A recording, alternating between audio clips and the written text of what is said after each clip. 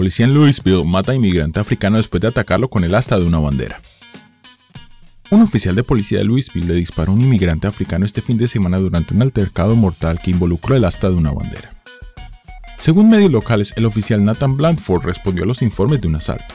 Den Mayon, de 35 años de edad, robó el bolso de una mujer y le dio un puñetazo. Blandford vio a Mayon y se le acercó. En un video de vigilancia, Mayon parece agitarse y camina fuera de cuadro. Blandford puede ser visto desenfundar su arma, mientras Mayon aparece con lo que parece ser el asta de una bandera. Como parte del procedimiento policial en este tipo de incidentes, Blandford fue puesto en licencia administrativa en espera de una investigación. Los informes sugieren que Mayon no hablaba inglés.